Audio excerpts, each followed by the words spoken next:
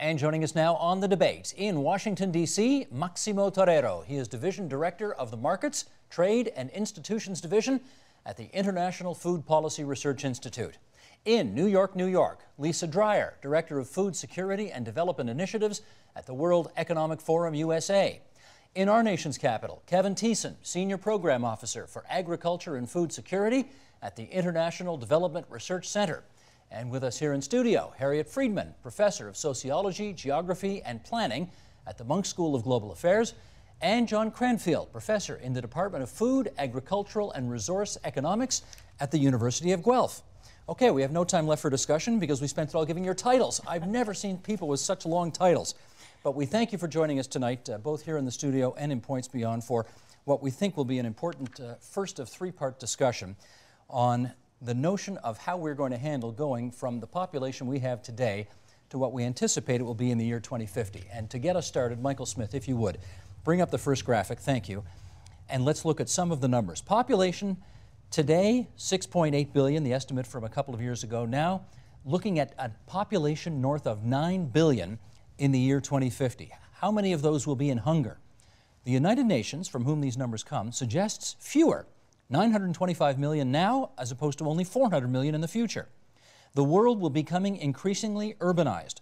Half of us live in cities now, moving to 70% by the year 2050. Cereal production in tons, 2.1 billion today, 3 billion in the future.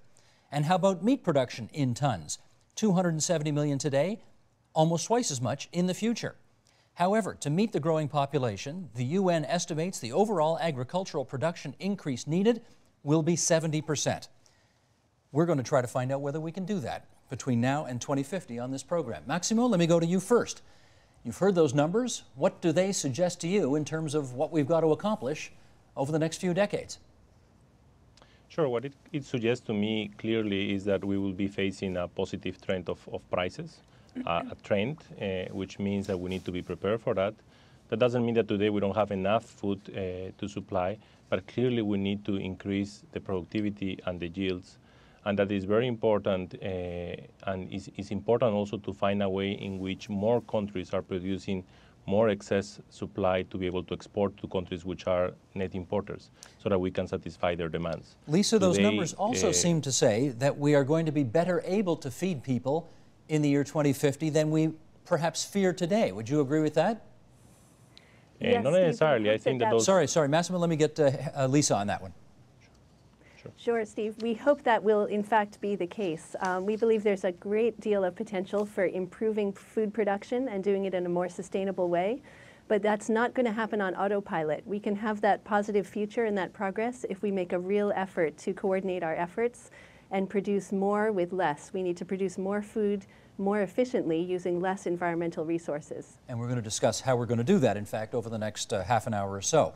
Kevin, as we look towards the year 2050, that graph also suggested we're going to become much more urbanized. What does that mean, in your view, in terms of our demand on our agricultural systems? Well, it's going to mean that basically, as the two previous speakers said, we need to sustainably intensify agriculture. We need to, to grow more food on less uh, on the same acreage using less resources.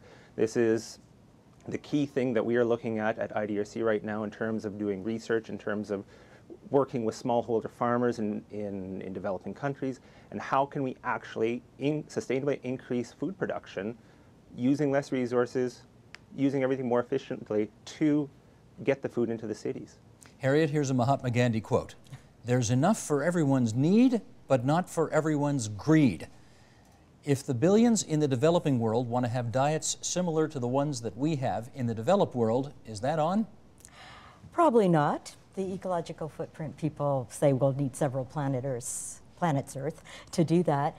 Um, also, I, one of Massimo's uh, colleagues at IFPRI has done interesting modeling on what would happen if we reduce the amount of meat consumption in the rich countries while allowing livestock products to be increased for the people who need it, who are deprived of it. And he has two different models of that reduction, which would reduce the cost of our healthcare services, increase the health of our populations that are over-consuming right now. And so we shouldn't take that for granted. I also think we shouldn't take for granted the urbanization trend that uh, we need. you don't think it'll happen? Well, it depends on our policies now. Hmm. That we are in the last phase of evicting people from the land, and the hum- human species has never gone this far in this uncontrolled experiment before. That if we support small farmers to improve their livelihoods, which was also the best way to improve food security, and if we increase the status and esteem within which, with which farmers are held, uh, we could solve a lot of employment problems, a lot of food security problems, and if we do it the right way, a lot of sustainability problems. Okay, problems. John, too. let me get you on that on that Gandhi quote. We've got enough for everybody's need, but not enough for everybody's greed. You agree? Uh, yes and no. I think the issue of, of having enough food is certainly true. We, we've got enough food at a global scale. I'm not necessarily convinced that we have enough food in the right places where it's needed in order to feed everyone. And perhaps that does speak to the issue of greed. Uh, the flip side of this is also um, what we have to understand in looking forward is not just population growth, but also income growth and how that affects demand for food in different parts of the world. I want to talk, Maximo, about food prices for a moment here because I think we've all been reading the stories, uh, certainly a couple of years ago, and now once again, most recently, about how food prices in some parts of the world are spiking in a majorly significant way. Why is that happening, Maximo?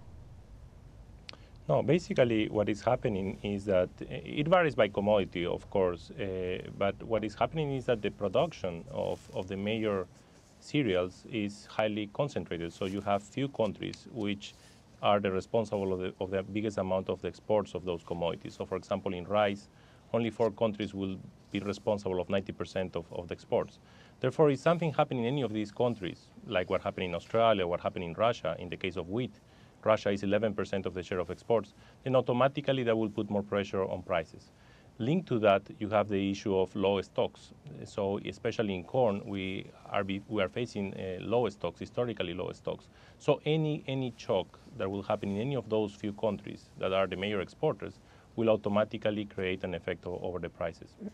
And at the same time, uh, in some of the commodities, especially in, in corn and wheat, there is a competition for the land and water because of the biofuel policies, which is again creating uh, a, a more, uh, more pressure over, over, this, over the demand, which will of course affect, affect prices. Harriet wants follow up. Yes, I think the to follow up on the meat issue, most of the grain, most of the corn certainly that's being produced, and most of the soybeans are fed to animals now.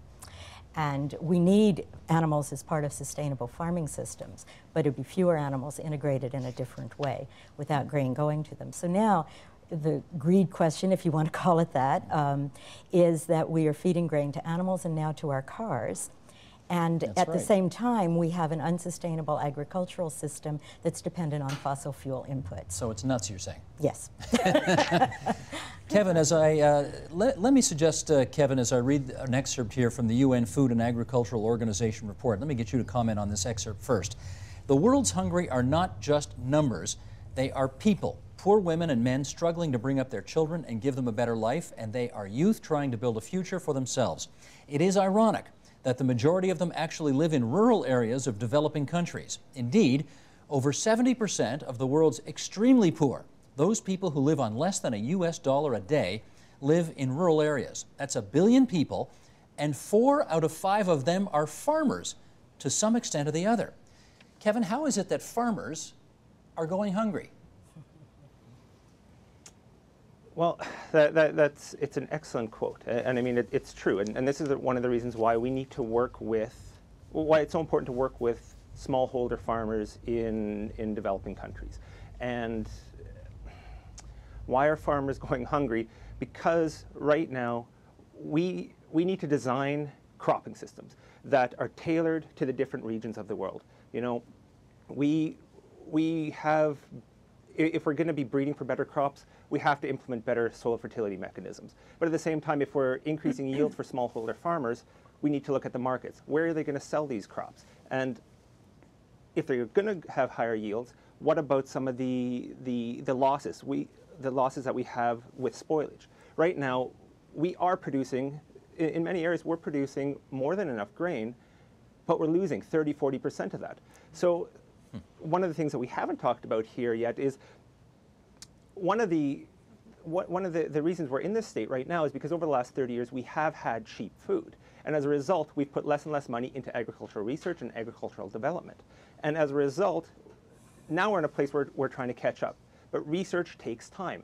And that's why we have to start working on it now and developing these, whether, whether you want to call it an evergreen revolution or multiple green revolutions or, or multiple greener Okay, revolutions, well, let- whatever, whatever it comes let me up go to with. Lisa on this We then. I have to look for Let me follow up with Lisa for a second, Kevin. Then, i- i- if you say we've had cheap food for too long, Lisa, are we talking about a future where we all have to pay more for food? That may be part of our future, and what we'd like to see is that some more of that, um, that price increase is going to the farmers. Because going back to the quote that you mentioned before, a lot of those smallholder farmers are the hungry that we're looking at today with nearly 1 billion hungry people worldwide. And those are people that live in remote rural areas. Uh, they often have very few roads, um, no bank, uh, no phone service, no well. Um, a lot of the farmers in Africa, ma- the majority of the farmers in Africa are women, and these are women that are out in their fields with wooden hand hoes trying to feed their families from what they can scrape from the soil with no irrigation, just hoping it will rain. So you can see all the problems that a, a farmer like that is facing. And a lot of what we'd like to focus on is getting better tools into the hands of those farmers, both literally in terms of some better tools to farm with, but also they need financing, training, uh, better land rights, a lot of support that uh, would enable them to dramatically increase uh, the food that they're able to produce, not only for themselves, but for their broader community. In which case, John, by virtue of their rural existence, it sounds as if their rural existence is part of the reason why uh, they're going hungry. And if increasing urbanization is what's ahead for the next, admittedly, you say, Harry, it's not a slam dunk, but if it's, if it's more than likely that that's going to happen, that's going to help solve that problem, will it not? Uh, it, it may and it may not. It depends on whether or not people can afford to migrate from the rural countryside into urban cities and whether or not they have greater economic opportunity when they get into those urban cities. I think about countries I've worked in, in, in Ghana as an example, and I look at the people in the poor countryside and the poor who live in the main cities. And there's not a big difference in terms of their ability to feed themselves. It's a question of whether or not they have access to markets and access to employment. Harriet. It's also a question of who's going to grow the food. I, uh, there's a linear progression, that's true, that's been going on, but how far can it go? I once met a farmer who was one of the first EU farmers to be trained in growing biofuels and anticipating those subsidies. And he said, Oh, there's no problem, we're going to get plenty of income from biofuels. And I said, Well, who's going to produce the hmm. food? He said, Oh, I never thought of that. and that's what happens when you go a certain way down the road of industrial farming. Lisa, let me try this with you. Almost 70% of the world's food comes from, I'm told, farms smaller than four acres. What are the top challenges faced by the so called little guy running the farm? Well, I was describing a bit about the, the African woman in the field with her hand hoe. Uh, she's facing a tremendous challenge, and there's uh, the majority of farmers around the world are smallholder farmers. So part of making the food systems work in the future means finding solutions for those smallholder farmers to be able to produce more. One thing that our organization has been working for, uh, working on, uh, with a group of global leaders around the world as well as farmers leaders, is something we call the New Vision for Agriculture, which says that in the future our food systems should provide not only food security and environmental sustainability, but also economic opportunity for those small farmers. And those three things should be equally important, and we believe they can be accomplished together. And just let me follow up. Uh, four acres, uh, is that the right size, or should they be bigger? Should they be smaller? What works best? Uh, the larger sizes are more efficient, but we have to work with the reality we've got. Sometimes that's just half a hectare, Gotcha. the size of somebody's backyard can in, in uh. Canada or the US. Go ahead, Maximo. Yeah, no, I, I completely agree. But but the issue is impo- the difference between today and when the Green Revolution took place is that at that point uh, the scale was not so important because you can we knew that the smallholders could increase productivity. Today, the scale is important. You have some economies of scale problems. It's no longer scale neutral because of the standards of food and, and the quality standards you need to comply with. So it's very important to find ways in which we can create collective action among smallholders and also to do contract farming arrangements with fruit processors so that they can comply with that level of scale they need to be able to link to, to the dynamic and the modern markets. So that's the way in which we can integrate the smallholders through innovative contract farming arrangements and through farmer associations so that they can comply and they can connect to the dynamic markets. Harriet. I think it's important at this point to deconstruct what we mean by food. So the great successes in productivity have been in grains, and they were so successful and so highly subsidized that they led to the production of li- intensive livestock that we have now. The glo- farmers of the global south do not have to reproduce our mistakes. We're depleting all the natural conditions uh, and we're causing health problems by this industrial form of farming. What's on offer for contract farming in the global south now is supplying what we lost, which is fresh fruits and vegetables, shrimp, uh, aquaculture, and they are, it's not clear, it's not at the expense of their own food systems, their own uh, food security, regionally and nationally. Okay, John, if I heard Maximo correctly, though, he sounded, it sounded as if he was saying, I don't want to oversimplify, but it sounded as if he were saying, bigger's better. In the, in the next world, bigger's better. Well, I, I think that's true, and I do have to disagree with Harriet to some extent. What we have to realize is that as uh, farmers in some of these countries adopt the technologies that are coming onto the marketplace and that we've, we have developed here in Canada and in North America and the West, um, what's going to happen is that their cost of production is going to go down as their scale increases. And there's a natural gravitation the, for these producers to actually get bigger as they start to see their cost of production going down. Why that's important also has to do with what we've seen in the long run with respect to global food prices, which certainly in the Western uh, countries has been that global food, or food prices have tended to fall. And so that squeezes the margin, and so that gives an economic incentive for a producer to get bigger as a means of survival. Kevin, you want a word on this?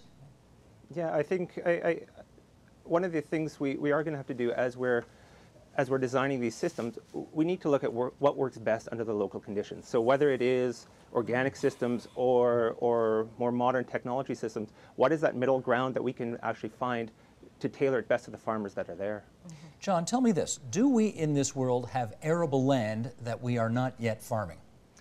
Uh, it depends on what part of the world you're talking about. Uh, certainly within the context of North America, we've done a very good job of getting the crop, uh, as Earl Butz once said, from fence post to fence post. Maybe not the best person to quote, but that was the mantra of, of agriculture in Western countries in the 70s. This is the former U.S. Former U.S. Agriculture, Secretary, Agriculture Secretary. Who had other issues. Uh, that's right, that's right. Um, and so I think we've been very successful, successful in getting um, crops planted fence post to fence post, but that doesn't necessarily mean that's going to be the best thing for agriculture. Harriet has raised some issues that I think are important, which is uh, the relationship between uh, environmental sustainability and those cropping systems. We've certainly learned from the mistakes in the past, and a good example of that would be the development of no-till agriculture, where we no longer disturb the soil as much as we used to, and we've got considerably less erosion. So while I agree that we can't necessarily export the technologies that we've developed in the West, I do think that we can do some cherry picking in terms of those technologies that are most suitable to the agroclimatic conditions in the global South. Hmm.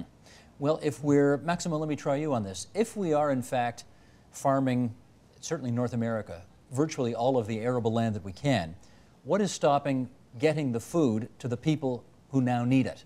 What's preventing that from happening?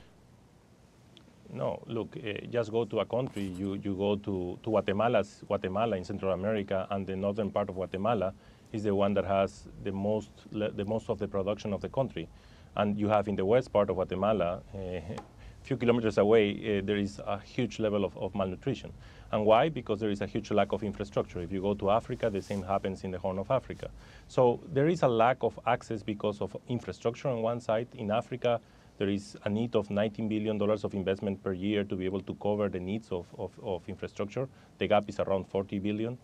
But at the same time, there is also a lot of, of problems of, of, of trade barriers. We have seen uh, in the last years that any, any shock on, on prices, automatically the response of countries is to put export bans and restrictions. And sometimes even for humanitarian reasons, you cannot move produce from one location to the other. So those issues needs to be resolved, and that's why it's so important uh, to move ahead with the uh, Doha round and to try to find ways in which we can avoid those types of barriers. And at the same time, there is a clear need to increase investment in infrastructure, but do a smart investment in infrastructure linked to development domains. So when, when we know there will be high yields and high productivity. In which case, Lisa, let me follow up with you now on the first answer you gave, which is if we're going to need 70% more food production between now and the year 2050 in order to feed a population of this planet that's north of 9 billion people, how are we going to do it? That's the really tough challenge that's facing the world, Steve. And uh, we've been working with a number of organizations to try to tackle that. One of the untapped resources that we think that can really help solve this problem is the power of business and the private sector. Uh, we've been working with a whole range of companies that feel they have a lot of tools and uh, business practices that can help both raise production and also expand access to nutritious foods. Uh, so business has a lot of solutions that it can bring to the table to help solve this problem. But at the same time, business can't do it alone. Um, so part of what we have been working on is trying to create partnerships and collaborative efforts so that all the organizations, government, farmers, business, and NGOs and others who are working on a particular value chain or operating in a specific agricultural region can work together to try to improve that food production and uh, according to their own goals that they may set themselves. And just so I'm clear, when you say business, I presume you're talking Archer Daniels Midland, Monsanto, uh -huh. I mean these kind of folks? We're talking about everything from the largest global companies down to a small farmer who grows a bit of extra and takes it to the market. So we think of the private sector as everything from those very small scale entrepreneurs up to the big companies. Each one has a different type of knowledge or talent to bring to the table in making the agriculture system work. Okay, Kevin, if that's the $64,000 question, or maybe I should say if that's the 9.1 billion population question, what's your answer to it? We have to start small we, you, know, that, that is the, we don't know what the future is going to hold, but we can try to design systems now that will lead to more sustainable agricultural system. And right now, where we can make the where we can have the biggest impact is with smallholder farmers, in particular with, uh, in Africa. Right now, farmers are growing, you know, perhaps yields are about 25% what they could be. So by increasing, getting better seed, looking at research into better cropping systems, we have ways that we can start to develop the, the overall production side of it. But then, as people have said, linking it with the markets. The, it, this is a huge issue, but this is where organizations, various organizations and organizations like ourselves are working with researchers in Canada and developing countries to come up with some of these ideas. Okay, John, we've heard the private sector's got to play a role. We've heard the small producer has got to play his or her role. You want to throw another idea on the table at how we're going to get 70% more agricultural production before 2050? Well, I, I, think it's about the institutional arrangements that also link those, those different stakeholders together and making sure that we've got some sort of an arrangement where the institutions can facilitate the collaboration that's needed. Which institutions? Um, it, it, could be anything ranging from uh, the institutional structure within a country that deals with sanitary and phytosanitary regulations or institutions dealing up, up to the scale of the World Trade Organization. If those institutions aren't structured properly, uh, doesn't matter how innovative the, the big farmer or the big company is, trade may not necessarily happen or the right product may not get to the right place at the right time. Are they right, structured properly right now for your? Oh, I, I think all of these institutions could be improved in some way, shape, or form. It's a question of figuring out which institutions are the priority area in terms of trying to facilitate uh, a more a quicker uh, response by the industry to, to dealing with this problem head on. The one point I do want to make, I think that's important is a lot of people get really uptight when they hear about innovation in agriculture. That's what we're really talking about and how there's been this decline in government investment in innovation. Uh, that's true, and they get worried that this means that there's scope for a big, big company, the, the big industrial boogeyman comes in and starts spending a lot of money on, on innovation. The simple fact of the matter is that farmers for eons have been very innovative. And biological innovation is actually one of the underlying driving forces, I think, that could affect our ability to get that 70% increase in production. Looking at helping those small scale farmers understand what they need to do on their farm so they learn from their own experiences. Red fife wheat is a great example of that in Canada mm-hmm. where the, the, wheat that we grow in Western Canada has its origins in one plant that survived outside of Peterborough, Ontario that was mm-hmm. resistant to rust, identified by one farmer. And so I think that biological innovation by those small scale producers is really, really important in all of this. Harriet, what do you want to put on the list? Red fife was developed in public sector eh, originally, and then it was almost lost because of the narrowing of the genetic base of our crops by increasing the scale. And uh, we had simple varieties, which are part of the problem now. What we need is resilience and biodiversity. So I think it's important to I, although I agree with what everyone says, it, as, is that at a certain level of abstraction, there are different trajectories on offer right now. One is the big scale focusing on seeds, right, individual plants, and increasing the productivity of those without any sense of where they're going to go, and increasing the scale of markets. The other trajectory is starting with resilience, agroecosystems, small farmers, organized regionally with the help of the public sector. There's a lot of evidence now that agroecological systems can produce up to 70% increase in yields in Africa, and they are small scale but work better when they're cooperative, where there's farmer to farmer mm -hmm. exchanges, where they're partnerships. That kind of business is not the same and doesn't allow as many profit opportunities for large corporations as investing in new seeds. In which case, Lisa, is that not a solution that some of the folks you represent are all too keen on if the profit picture isn't as rosy as they'd like? I think it's not an it's not an either or question. I think we need both private sector partnership that will help strengthen ecosystems and productivity, as Harriet was saying, um, together with the community-based efforts. How poised are we right now, Maximo, in your view, to have that increase in productivity that Harriet referred to? I think that the major problem is that we are not looking to a value chain approach. We have some technology available that will help to increase yields, but we need first to transfer that technology and to invest sufficiently in agricultural research, not only to generate uh, better varieties, but also to improve the extension services. But without having a, a, value chain approach, that will be very damaging because farmers will increase productivity, and if they are not linked to the dynamic markets, they won't be able to sell their surpluses. Right. So you need to look to all the steps of the value chain, try to find ways through institutional designs like contract farming for high value crops or farmer associations for staples through warehouse receipt systems that will allow them to sell their produce also and therefore to profit from the benefits. And that requires at the same time significant investment in infrastructure. And that's where the governments have to play a role because that's a public investment which is needed. So both public and private sector needs to play together here to be able to increase the production and access to the markets that we need to comply with the demand that we will have in the, in the 2050. Harry, do you want to come back on that? Farmers are entrepreneurs, so it's not a question of private sector or businesses. It's certainly a question of infrastructure, but there is a choice of infrastructure here. If farmers are producing a variety of crops in an ecologically founded system, including agroforestry, management of water, water retention in soils, uh, low input in terms of pollution, um, that's happening now with soils and water. If they're going to do all that, then they're going to have mixed product markets, not contract farming. I think, as far as I can see. Contract farming encourages farmers in Kenya to produce a field of green beans, which they can't eat or can't sell unless the Walmart checker wants it or the Global Gap checker for Europe. Right? Maximo, you want to come back on that? Yes. Uh, look, it's not that contract farming is the perfect solution. We need to innovate a lot in how the contract designs are being made. That's for high value crops. But again, if I am a small farmer and I don't have access to credit, I don't have access to inputs because the input market is highly concentrated, and I don't have access to irrigation, it's very difficult for me as a small farmer to be able to cover all those market failures.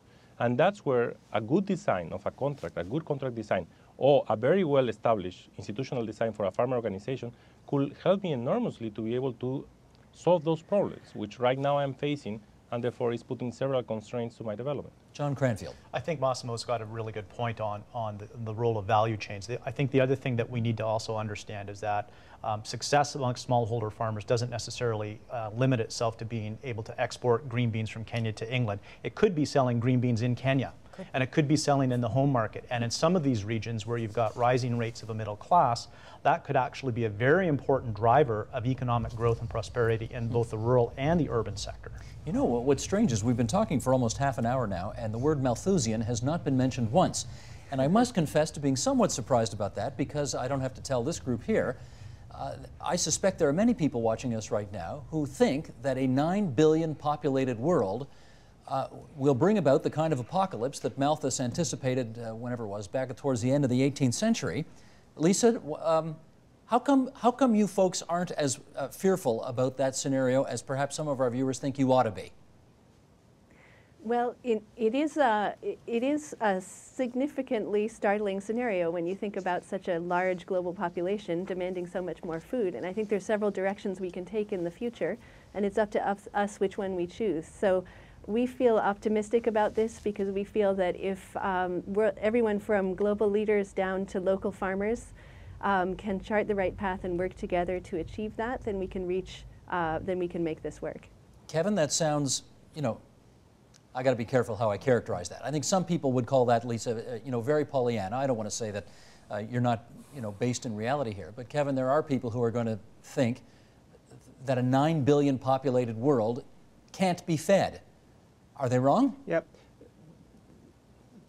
you know what? Right now, though, I think one of the reasons we, why we are optimistic is there are re, there are areas around the world that aren't producing enough, and there are also areas where we're producing enough, but we're losing it because of spoilage, because they're, they're not getting there. Right now in the world, we have a, a lot of the, the, the, issues that we do have are because we're not getting the amount of food into the right areas. And so if we can continue to produce more places like Africa where there's, there, there's clearly a, a big growth potential there, combined with improved infrastructure, combined with improved markets, you know, we, we have a potential to do this. Okay, let me read another Steve, excerpt if I could follow Yeah, up. Lisa, go ahead, please. Sorry, I'd love to follow up on that. I'm so glad that Kevin raised that point about the, uh, the wastage in the food value chains. Um, I, I, I, don't think it's overly optimistic to say that there's a tremendous amount of progress we can make just with the resources we already have. If we look at the fact that in Africa, 30 to 50 percent of the food that's produced can be lost before it reaches the market or before it reaches people's plate, just because of inefficiencies in the value chain. If we look at the fact that women farmers, if they had the same access to finance, land, training that men farmers do, uh, the world would be producing 4% more food and we would have 150 million fewer hungry people.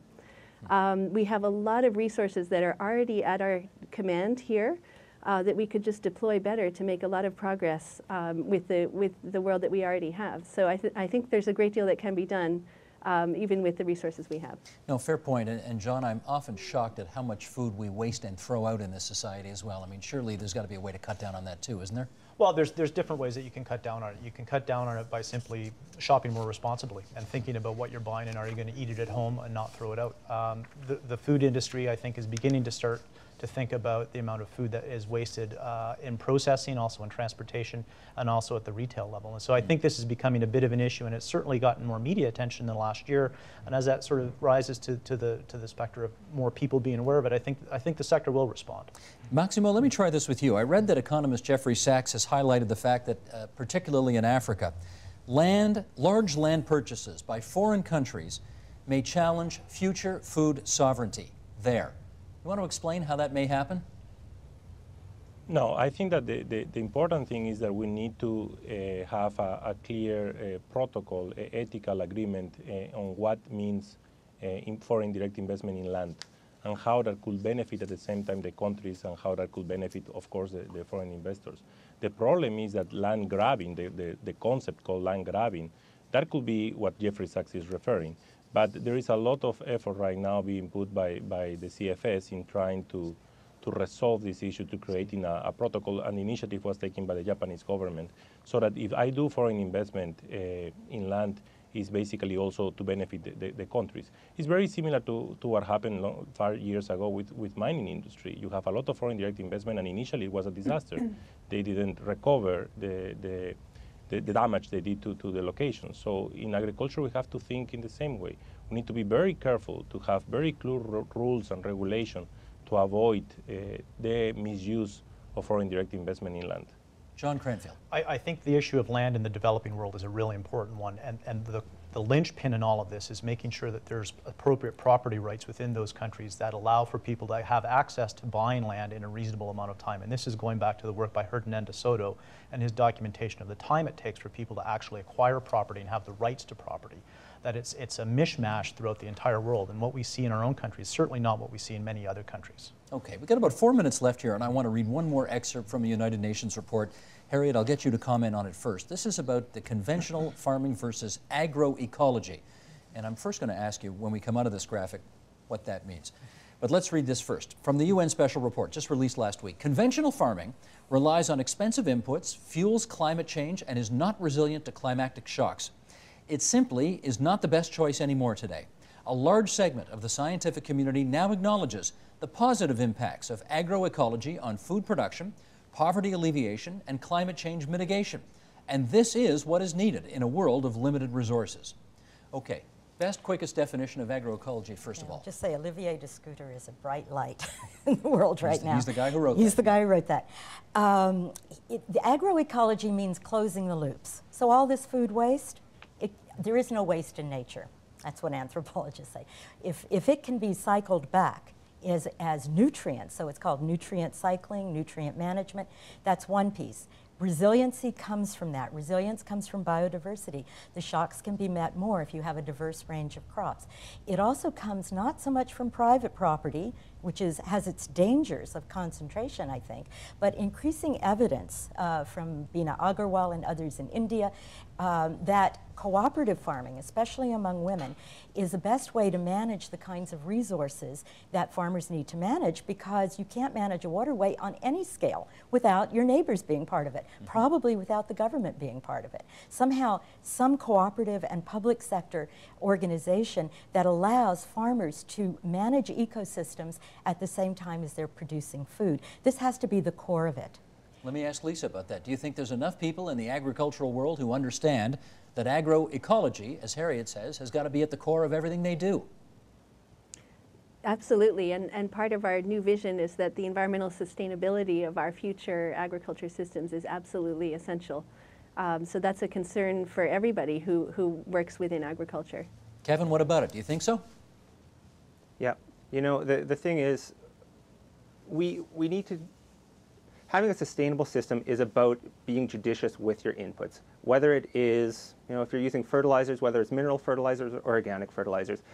You go to either end, you can have great systems, you can have environmentally damaging systems. And so the, the key is being judicious, finding what works, and just using enough. Maximo, what's your view on that? I think that there is some asymmetry of information still. Uh, you see that some countries react immediately to the increasing prices by increasing the amount of intensity of use of fertilizers so that they can increase in short term the yield. So I think it's important to transfer the information and the importance of this and how it is so relevant today when we have the problems of climate change. And, and what we know in consensus is that the variability of the climate will increase, and therefore we need to find a way to keep uh, this, this sustainability, uh, especially in the case of the use of water. But if I look to India, for example, and the level of subsidies they have in, in, in, for pumping water from the underground, I, I will clearly disagree that everybody is aware of this. I, I think that there is a lot of information that needs to be shared to make people understand of the importance of sustainable agriculture.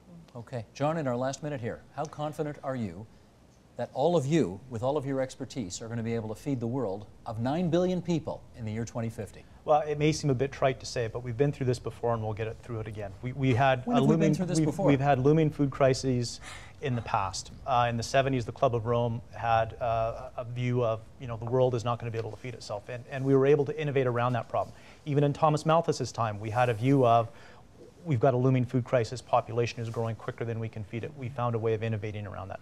I fundamentally believe in the ability of humans to innovate around problems, that human ingenuity can help solve these problems. You need a coordinated effort, though, and it can't be done in isolation of other efforts. Harriet, last 20 seconds. It has to be partnerships between formal science and the knowledge of farmers in site-specific locations. It cannot be top-down solutions that give a new seed that then is going to have to be fixed when the problems emerge from that seed.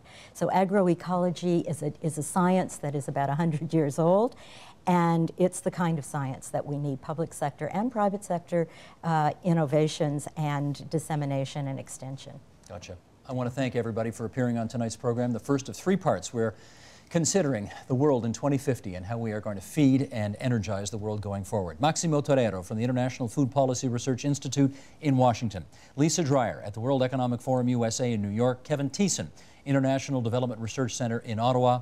Harriet Friedmann at the Munk School of Global Affairs. John Cranfield, University of Guelph. Thanks so much, everybody.